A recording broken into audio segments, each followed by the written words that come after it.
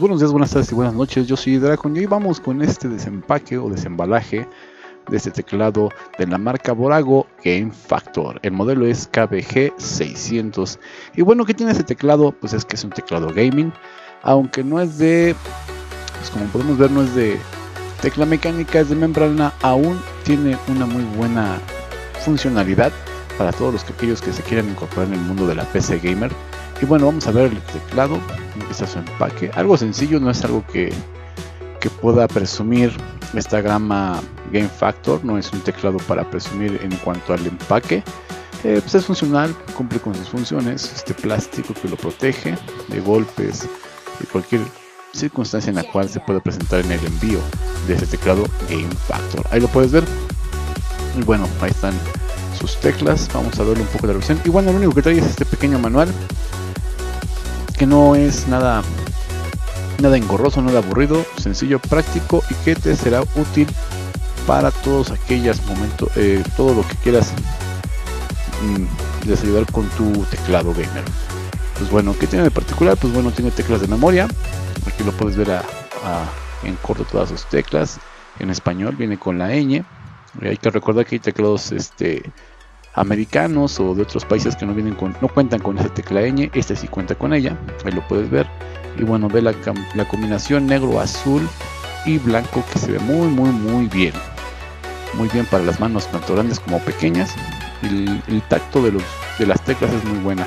Aquí tenemos en las letras azules las flechitas, teclas de memoria, tiene varias teclas de memoria para las combinaciones de videojuegos y esas teclas igual de flechitas azul, la multimedia, o los poquitos de, de, teclas. Y bueno aquí para los usos del teclado que ya veremos más adelante. Bueno subir bajar volumen y mute. Aquí está el, la marca Game Factor y el modelo. Bueno vamos a pasar a la parte del cable un cable reforzado recubierto.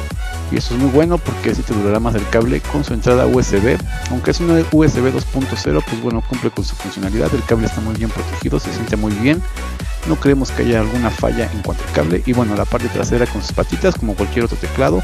La mayoría de los, la mayoría de los teclados tendrán lo mismo no te preocupes por eso. Y bueno nada más en algunos detallitos sus gomitas antiderrapantes y este plástico azul que se ilumina también eh, al iniciar el foco. Y aquí está lo que te mencionaba el teclado.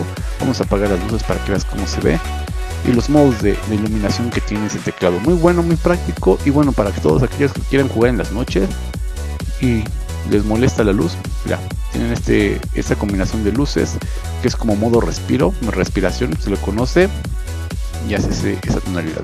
El modo normal, una variación más tenue de la, de la luz y pues bueno, ahí está más tenue y bueno, pues ya apagado total, ¿no? Si no quieres que te moleste la luz y lo regresamos al modo respiración para que veas la, pantalla superior donde te marcan el blog de nota, el blog de mayúsculas, el blog de numérico y bueno, las teclas se, sienten muy bien, las flechitas.